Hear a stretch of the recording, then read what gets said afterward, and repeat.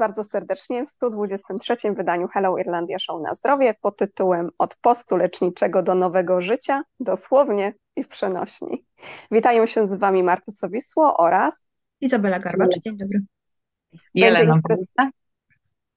Będzie interesująco oraz inspirująco. Bardzo się cieszymy, że dołączyliście do naszego show wieczorową porą, bo warto. Bardzo Was prosimy o wsparcie Hello Irlandia na buymeacoffee.com. E, wspierajcie niezależne media i wspierajcie wolność słowa oraz myśli. Wspierajcie Hello Irlandia. Dziękujemy naszemu sponsorowi Digital Lotus za e, wsparcie. E, Digital Lotus specjalizuje się w tworzeniu strategii dla mediów społecznościowych, identyfikacji wizualnej firm, rebrandingu oraz projektowaniu wysokiej jakości stron i sklepów internetowych. Zapraszamy również na spotkania w ramach wydarzeń klubu Ladies Night w Dublinie. Już 19 października mamy Ladies Night Party w Trinity Bar Venue. Kolejne spotkanie na naszej liście to warsztaty rozwojowe w pełni 22 października 2023 roku w Ratmines, a już 11 listopada spotkanie warsztatowe na temat ziół i ziołolecznictwa z Asią Bieniasz w centrum Dublina. Program tych wszystkich spotkań już na naszej stronie internetowej helloirlandia.com IE. A naszym dzisiejszym gościem jest Jelena Bojda, aktywistka, działaczka społeczna i zwolenniczka życia w zgodzie z naturą. Witaj Jelenko. Witaj, e, witajcie. Ja już się wcześniej przywitałam, ja to muszę wybiec przed szereg zawsze, no ale dobrze, już jestem. Przywitana dwa razy. Tak, bardzo nam miło Cię gościć i e, tutaj muszę trochę prywatę zapodać. Jelena jest moją bardzo dobrą E, znajomą, przyjaciółką, z którą jesteśmy dosyć blisko i jest tym bardziej mi wspaniale e, ją tutaj za przywitać na naszej antenie. Witam Jelenko... Cię Marta również, tak. Jelenko, czym jest długotrwały post i w jakim celu się go robi?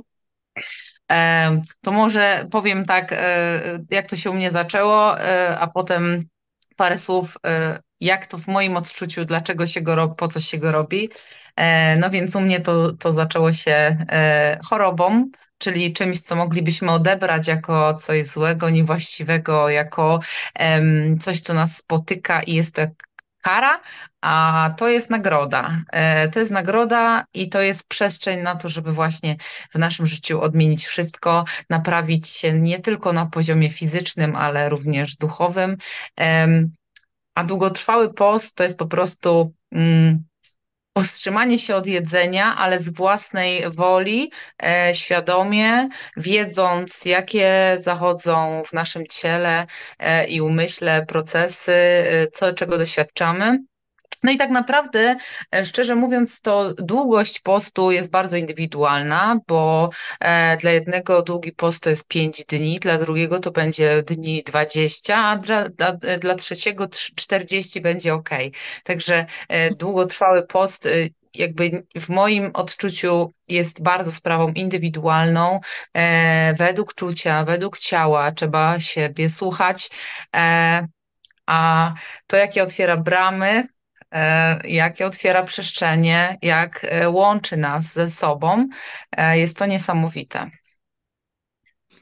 To jest bardzo ciekawe to, co mówisz, bo tutaj chyba ten poziom świadomości jest nie, niezwykle istotny tego, co się dzieje z naszym organizmem, z naszym ciałem. A powiedz, czy są jakieś zasady bezpieczeństwa, których należy przestrzegać w trakcie stosowania takich długotrwałych postów? Mhm. E, jest to e, podstawa. Bezpieczeństwo to podstawa. Mam właśnie książkę, będzie ją widać odwrotnie, ale jest to książka, którą polecam. E, Lecznicza głodówka Małachowa. Małachow to jest świetny autor niejednej książki mówiącej o, o życiu bez pasożytów, o leczniczej głodówce, o procesach, o bezpieczeństwie, o tym właśnie BHP, które jest bardzo ważne i jest podstawą. E, świadomość tego, co zachodzi w naszym ciele, e, świadomość tego, po co to robimy i świadomość tego, że e, czego nie możemy robić podczas niejedzenia, jest kluczowe i od tego zależy, czy ten post będzie skuteczny i leczniczy, czy będzie w drugą stronę, niestety, ale nie leczniczy, bo takie też się zdarzają. Mimo, że mamy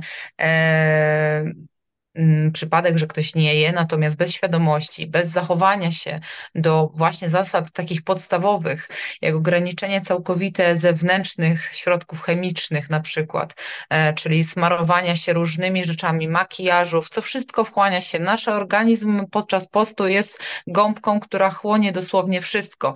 Od powietrza, którym oddychamy, po wszystkie preparaty, jakimi się smarujemy to jakimi emocjami się odżywiamy. To jest bardzo ważne. E, także bezpieczeństwo podczas postu jest to podstawa. Ja zawsze mówię, że trzeba słuchać swojego ciała i w momencie, kiedy ono mówi, że dosyć i jest to dwa dni, to trzeba e, posłuchać tego ciała, bo te dwa dni w tym danym momencie jest wystarczające i, i trzeba wychodzić. Temat bezpieczeństwa, powiem Ci, postu to jest temat bardzo, ale to bardzo rozległy, na którym mogłybyśmy rozmawiać tutaj e, cały wywiad. E, myślę, że przeczytanie tej książki oraz e, są, jest wiele plików, na przykład na grupie Fani Głodówek Leczniczych, tam jest mnóstwo osób, które przeszły 40-dniowe. Jest też dużo materiałów na YouTubie, które też fajnie instruują, co robić, a czego nie robić. Czego używać, a czego nie używać podczas postu. Mówię tu o pastach z fluorem, mówię tu o antyperspirantach z aluminium, e, które, którymi karmimy i e, robimy sobie jeszcze większą krzywdę e, niż, niż by to miało pożytek przynieść, niż by to miało nas wyleczyć. Także bezpieczeństwo to podstawa. Zdecydowanie się z Tobą zgadzam i też jako e, osoba praktykująca głodówki już od jakiegoś czasu uważam, że bez e, podstawowych zasad BHP nawet nie ma się co za to zabierać, bo można sobie zrobić więcej szkody niż pożytku, a zresztą czytając Małachowa możemy się również dowiedzieć o ludziach, którzy no, zakończyli w ten sposób swój żywot, na przykład poprzez nieprawidłowe wychodzenie z e, tak. takiego postu. Jelenko, a ile trwała i jak przebiegała Twoja głodówka? E, znaczy, ja, ja, ja przeprowadziłam w swoim życiu dotychczasowym, a planuję jeszcze nie jedną. E, to najdłuższa trwała 30 dni na samej wodzie. Natomiast była to moja, jak dobrze liczę, czwarta na wodzie, ale pierwsza tak długa, bo to długość, wcześniej były jeszcze sokowe, także postów w moim życiu już było mm, sporo. Natomiast ta najdłuższa i najbardziej wpływająca na moje życie to była właśnie 30-dniowa, 30 dni na samej wodzie. E, jak moje samopoczucie? Różnie. Nie mogę powiedzieć, że było cały czas kolorowo i cudownie, e, bo to by była nieprawda. Po prostu było różnie, byłam pod koniec słaba, ale cały czas moje wnętrze podpowiadało mi, że jest okej. Okay. Mimo tego, że wyjście na schody, na poddasze do mojego mieszkania było wyzwaniem, to wewnętrznie ja nie czułam E, nie czułam, żeby wyjść. Jakby byłam w tym mm, i spokoju w takim, e, że wszystko jest dobrze, nie robiłam nic na przekór e, sobie, słuchałam siebie i była, był to czas niesamowitego połączenia mnie ze mną. Co właśnie potem skutkowało tym, że byłam w stanie urodzić sama dziecko w domu, bo ten mój kontakt ze mną, z to ziarko się zasiało właśnie przy tym poście mm, i jest ze mną do teraz. Już y, się nie rozdzielamy. Y, w moim planie jest 40 dni na samej wodzie. Może Marta mi potowarzyszysz, może razem je zrobimy, ale bardzo chętnie. Ale tak jak mówię, jest to plan, ale jak moje ciało mi powie, Jela, 10 dni koniec, to tak będzie z szacunkiem do mojego ciała. Natomiast taki plan w mojej głowie się, się rodzi. E, także samopoczucie różne, ale był, e, było to wspaniałe doświadczenie. Wspaniałe, odmieniające. Po prostu dokonałam tak naprawdę niemożliwego, by rzec, tak w takim życiu codziennym, jak ludzie nie myślą o tym, że można żyć bez jedzenia 30 dni, e, to właśnie moja rodzina i bliscy z otoczenia byli e, totalnie zaskoczeni, tak, jak to wszystko się odbywa i że się da, a, a to jak wewnętrznie na mnie to wpływało, no to coś niesamowitego, ale były też właśnie momenty ciężkie, kiedy wiedziałam, ale ja wiecie co, wiedziałam, że wtedy moje ciało się leczy. Jak leżałam i bolał mnie brzuch, to ja z pokorą do tego, co się dzieje, nie robiłam postu y, z widzimisię, tylko właśnie wiedziałam, że mój stan jest taki, że ja po prostu potrzebuję y, się wyleczyć, potrzebuję się oczyścić. Y, i, i potrzebuję tego, co daje właśnie post. Potrzebuję autofagi, potrzebuję samozjadania, potrzebuję wywalenia przez moje ciało, a tym samym zawierzenia bezwzględnego w jego potęgę, że właśnie sobie poradzi, że ja mu to zostawię, ja mu nie będę przeszkadzać. Nie będę przeszkadzać jedzeniem, on nie będzie, ono nie będzie trawić i będzie się oczyszczać. Jest jakie to jest piękne, jak się to o tym opowiadasz, e, to aż chce się wskoczyć w to od razu. Tak. Powiem Ale... tak. Tak. że ja ogólnie teraz karmiąc nie poszczę, e, ale tak jeden dzień, wiesz, dwa, ale tak tęsknię za tym stanem. Jest cudowny, po prostu jest cudowny i e, powiem, e, jak byłam nieświadomą mamą 6 lat temu, to mm, chciałam zaprzestać karmienie, żeby wrócić do niezdrowego życia, że tak mhm. powiem. Myślę, że się każdy domyśli, a teraz mnie ciągnie właśnie do tego, żeby, y, że kurczę, to karmienie, no, no fajnie, te 15 miesięcy na cycusiu, ale chciałabym też właśnie pobyć ze sobą, bo to jest takie, to jest nieskazitelne połączenie po prostu. Pięknie, pięknie. Ja właśnie przygotowując się do dzisiejszego wywiadu, postanowiłam sobie zrobić taką trzy, może czterodniową głodówkę i teraz jestem, no już e, na cztery, już 48 godzin minęło, więc jeszcze mhm. trochę przede mną, ale mhm. właśnie e, tak jak Jelena powiedziała, to jest taki stan, który naprawdę wciąga i chce się do niego wracać, bo tak. czujesz, że ten organizm zupełnie inaczej zaczyna funkcjonować. Nie tylko tak. ten wewnętrzny, ale również tu, umysł zaczyna tak. działać w zupełnie inny sposób i um, odpada ta ciężkość i to właśnie ciągłe trawienie posiłków, które tak. gdzieś mhm. tam się przewalają tak. przez nasz organizm. Tak. Więc to brzmi jak euforia totalna. Ale to jest, jest to wspaniałe uczucie. Tak, domyślam się, domyślam się.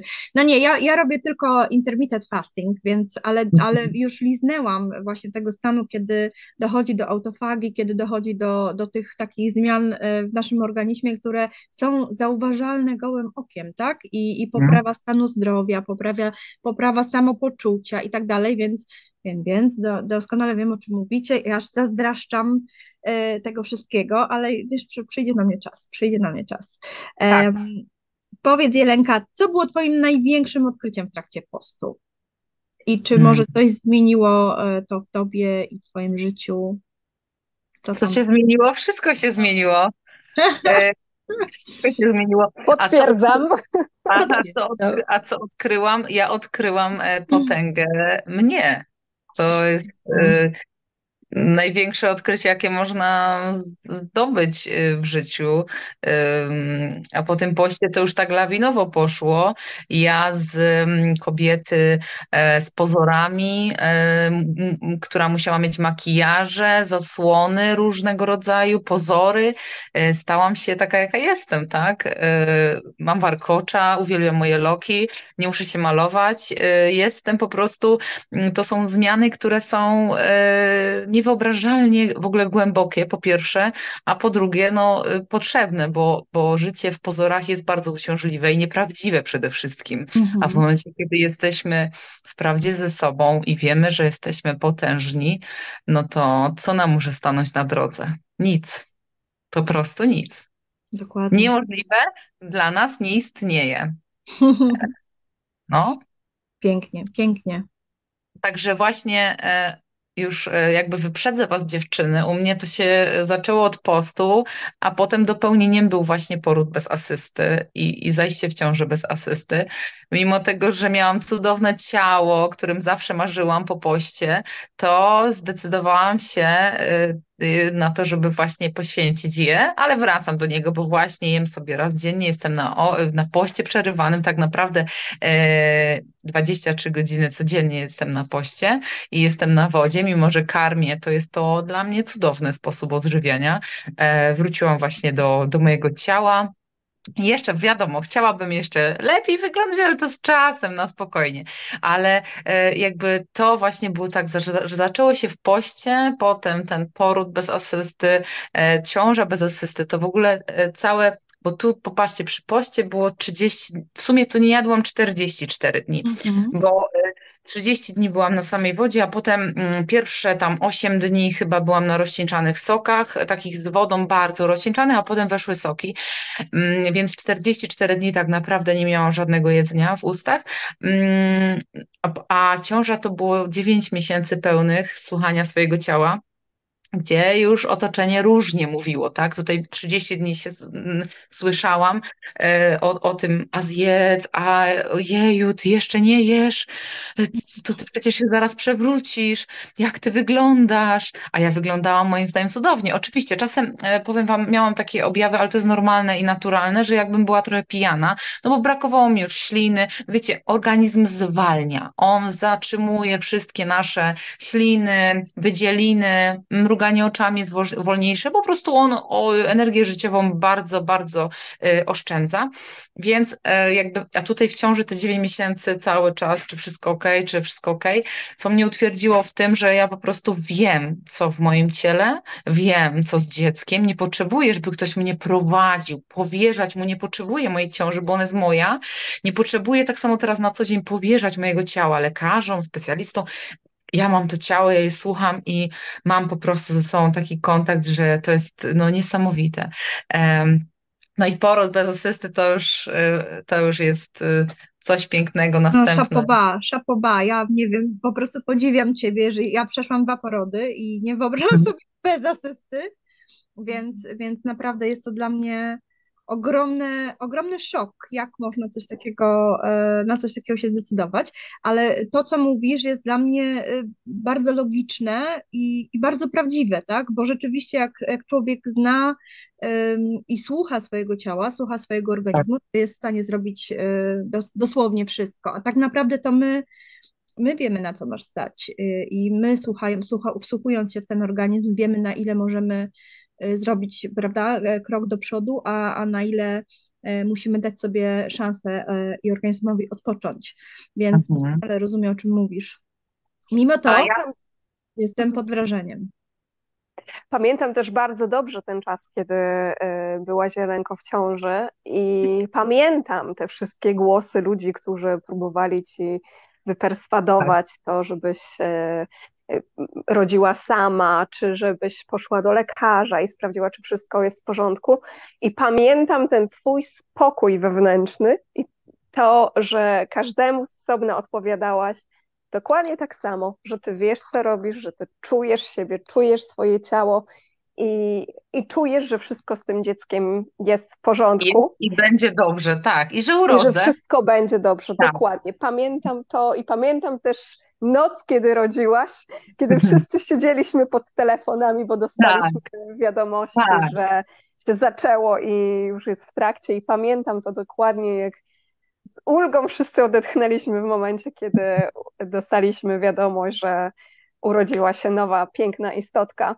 A Mhm. Jelenko, czy mogłabyś nam troszkę więcej opowiedzieć na temat y, przebiegu twojej ciąży? Właśnie y, skąd brałaś tą pewność? Poza tym, że z głodówki y, powiedziałaś, że słuchałaś siebie wtedy, ale skąd w tobie się brała ta cała siła właśnie, żeby to być w stanie udźwignąć Kurczę, samodzielnie? Powiem, powiem tak szczerze, mm, hmm, nie wyobrażałam sobie powierzyć komuś e, tej ciąży.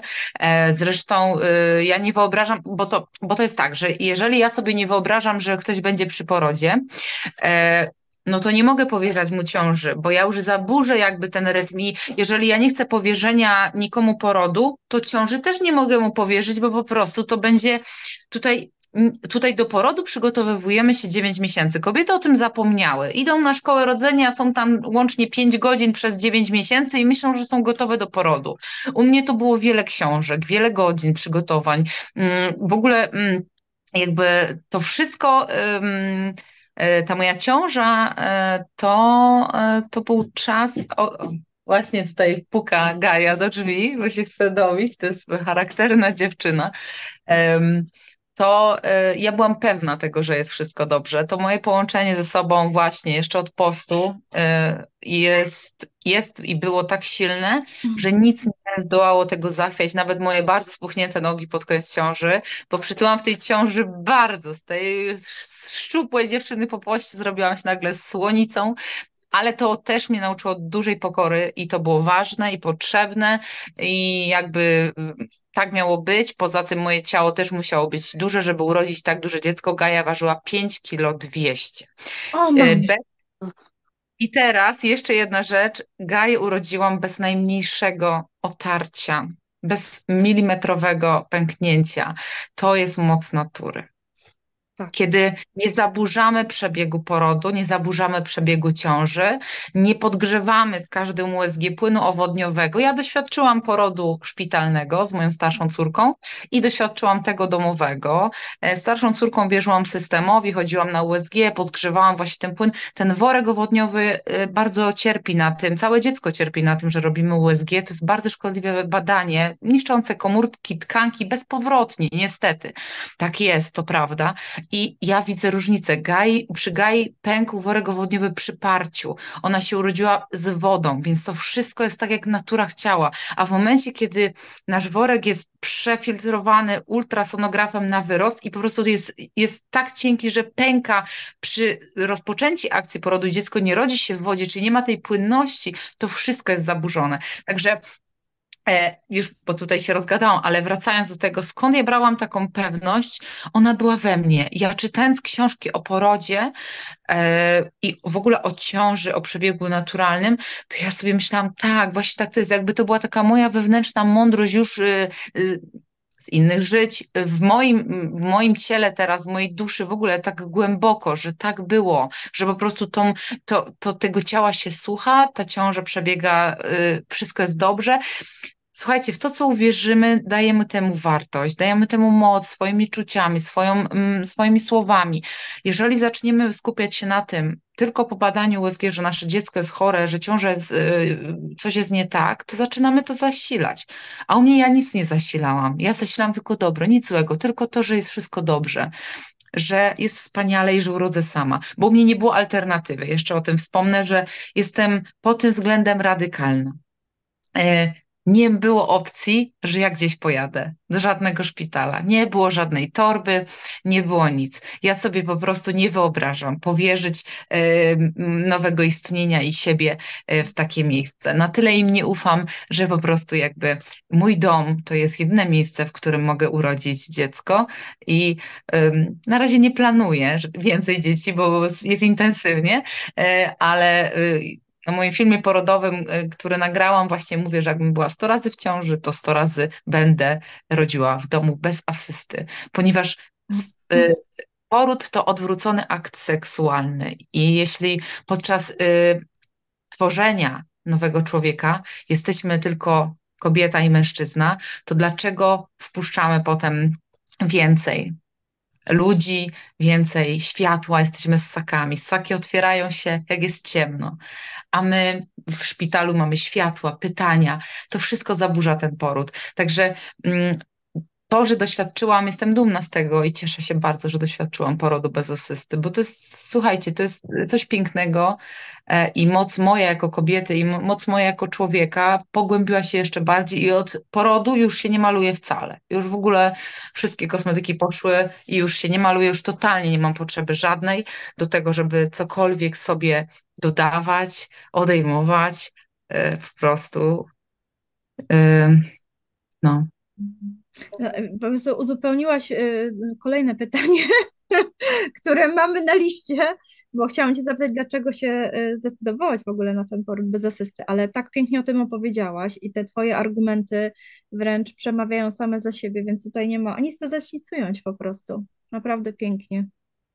No, to jest właśnie piękna moc nas jako ludzi, naprawdę. I każdy z nas y, ją ma. Dzisiaj się spotkałam z takimi komentarzami na moim profilu i napisałam takiemu mężczyźnie, że jeśli nie wierzysz w to, że masz tą moc, to jej nie masz. Ale jeżeli ty wierzysz naprawdę i nie pozwolisz nikomu jej zabrać, y, w tym, że on w nią nie wierzy, w tą twoją moc, no to możesz wszystko. Od Mhm. niejedzenia po porody bardzo dużych dzieci. A Gaja się urodziła, myślę, że słuchajcie, nie bez przyczyny taka duża właśnie po to, żebym dzieliła się z kobietami, że naprawdę można i że, że to jest bezpieczne. że to jest bezpieczne. Super. Fantastycznie. Mogłabym tak słuchać godzinami, szczerze mówiąc. A zresztą słucham bardzo często, Tak. bo no, tak jak Ja się- mówiłam, Tak, e, ja mam w planach, e, słuchajcie, mieć swój też kanał na YouTubie, bo uważam, że naprawdę przyszły czasy, kiedy e, wykorzystując tą technologię, powinniśmy właśnie to, co robicie, dziewczyny. Bardzo Wam gratuluję i cieszę się, że robicie to, co, to, co robicie, że jesteście tu, gdzie jesteście, bo jesteście też cząstką tej pobudki, tej świadomości, która się rozrasta.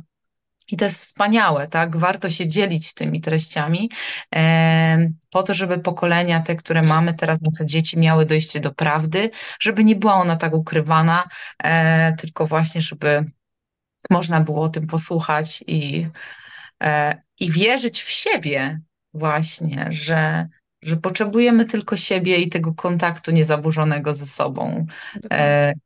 Tak, i możemy naprawdę, możemy wiele osiągnąć w życiu. Jelenko, ja chciałam poruszyć tutaj jeszcze jeden bardzo ważny aspekt czegoś, co wiem, że zmieniło się w Twoim życiu po głodówce.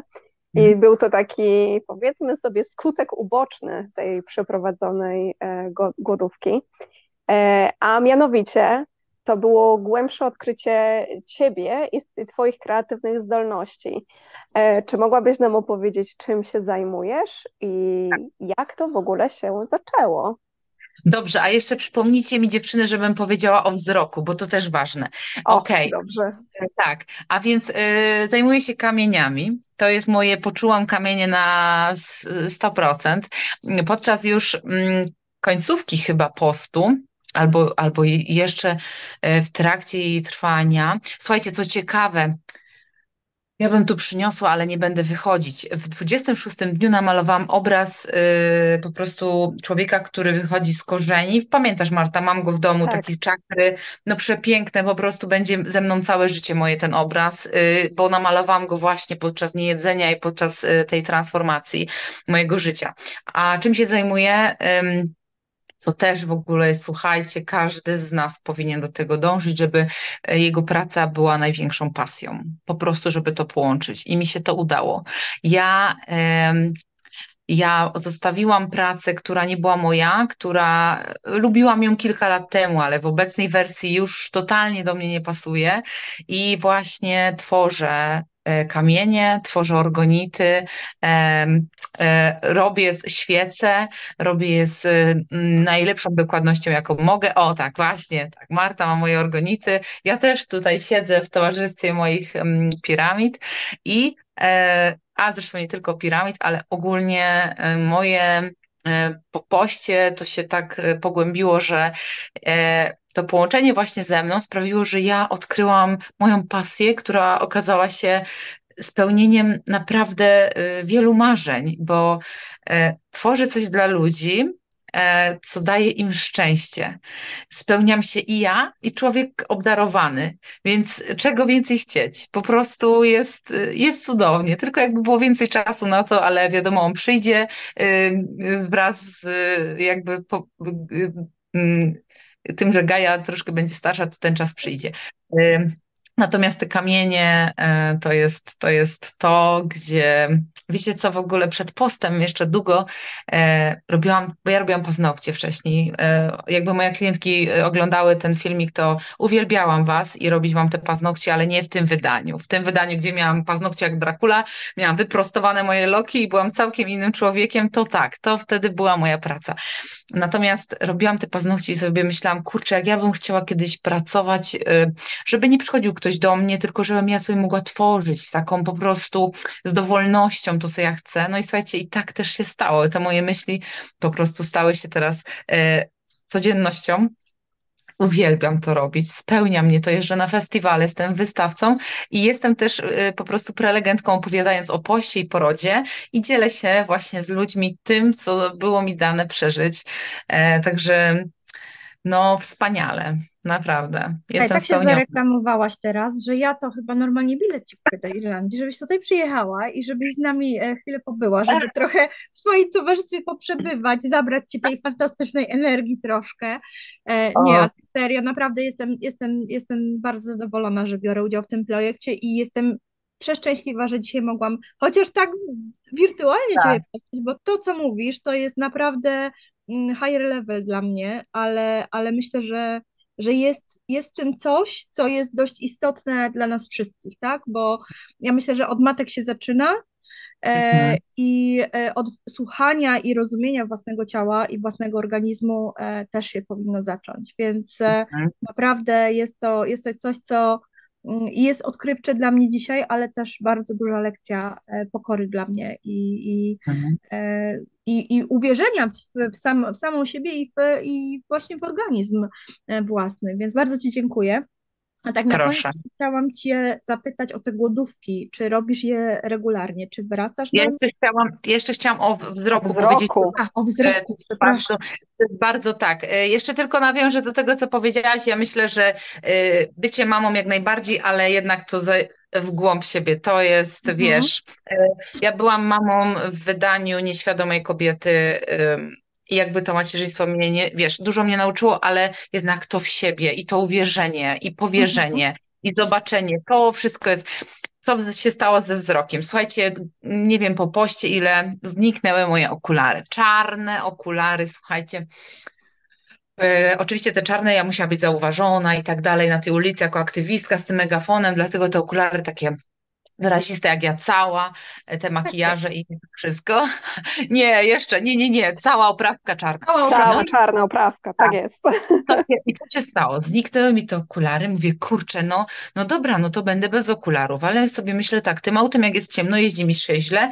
Pojechałam e, wyrobić sobie te okulary, które mam na sobie. Generalnie pojechałam z wadą minus dwa, astygmatyzm na cylindrach, jedno i drugie oko po minus dwa.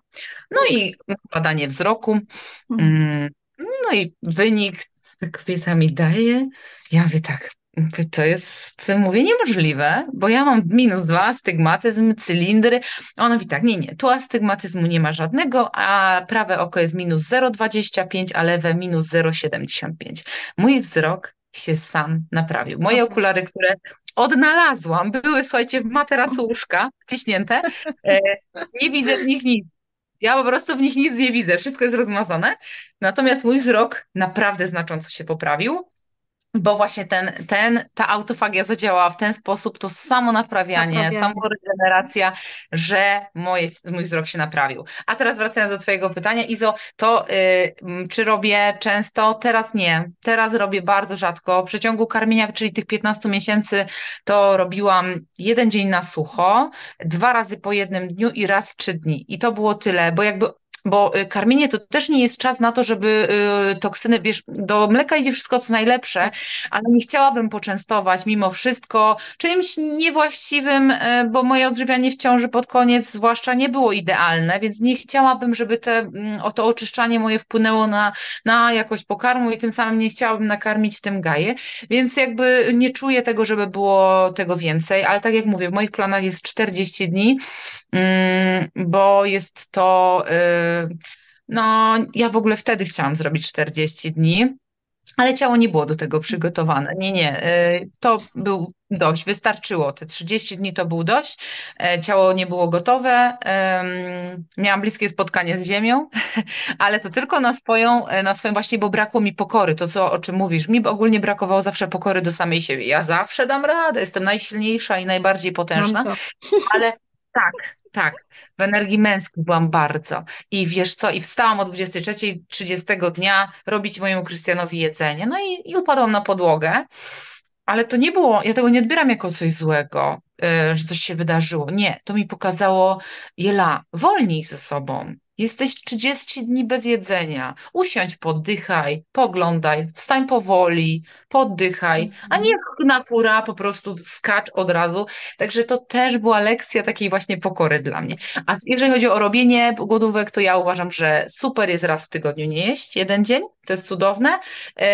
Bardzo bym polecała taki model żywienia, polecałabym również właśnie okno żywieniowe, jeżeli nie 8 na 16, to skracać, to 6, to 4 i po prostu sukcesywnie ograniczać to ciągłe karmienie się e, i zamieniać to karmienie się jedzeniem na karmienie się energią, na karmienie się słońcem, na karmienie się dobrem, na karmienie się swoim mężem, żonom po prostu nakarmienie się w inny sposób niż to jedzenie, bo jesteśmy niewolnikami przez jedzenie, przez cukier zwłaszcza. Jest to bardzo silny narkotyk, tak? Także e, temat jest ogromnie szeroki. Fajnie, że udało nam się jakiś taki naparstek i taką naprawdę, mm, myślę, że, że te ziarenka zostały pozasiewane, e, dużo zostało powiedziane, natomiast temat jest przepotężny, bo dotyczy potężnych istnień. No. Zdecydowanie i wszystko to, co powiedziałaś, Jelena, e, na temat tego e, leczniczego aspektu głodówki jest dla mnie wręcz nieprawdopodobne. I e, wiem, że to jest wszystko możliwe, że człowiek potrafi wyleczyć się sam, jeżeli tylko wierzy w to tak. i odpowiednio też do tego podejdzie, tak. jest w stanie zrobić coś niesamowitego. I dlatego powiem Wam szczerze, że bardzo często, kiedy słyszę od ludzi o tym, że ach, to coś to było tylko placebo, to ja sobie myślę, kurczę, tylko placebo? Placebo mhm. jest przecież najpiękniejszym efektem, jaki możemy sobie wyobrazić, dlatego że to nasz organizm zadziałał cuda. Tak. I nieważne, czy y, nie wiem, na przykład powiedzmy podano nam pastylkę cukrową, o której powiedziano że nam, że to jest najlepszy lek. Jeżeli my uwierzyliśmy w to, że to coś, cokolwiek to jest, nam pomaga i nasz organizm leczy się sam, to pokazuje, jak potężni jesteśmy, właśnie tak jak powiedziałaś, jakimi niesamowicie potężnymi istotami jesteśmy. Tak, tak. I jeszcze powiem tylko już, ja nie wiem ile mamy czasu, ale o uwolnieniu, o, o dwie minuty, o uwalnianiu emocji, które są dla mnie podstawą i zawsze przytaczam to do zaciśniętych pięści.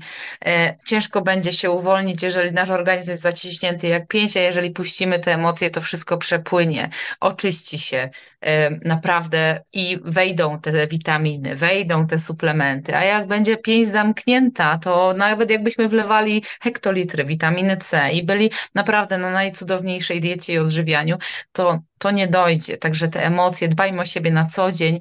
E, po prostu ja ostatnio nagrałam też na Facebooku taki mhm. zasilajmy dobro, e, zasilajmy to dobro każdym dniem, nawet jak jest cięższy dnie, dzień, bo nie są wszystkie idealne, bo się zdarzają, to po prostu e, dzielmy się tym dobrem i zasilajmy to dobro, a myślę, że wykiełkuje to przepięknie i wróci do nas.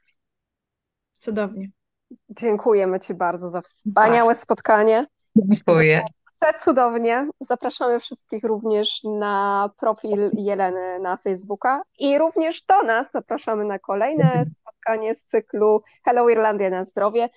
Przy najbliższej okazji porozmawiamy o kobiecych biustach i o tym, w jaki sposób o nie dbać. Pięknie. Zapraszamy serdecznie. Dziękujemy, Dziękujemy bardzo. Dziękuję I bardzo. dobrej nocy. Dobranoc.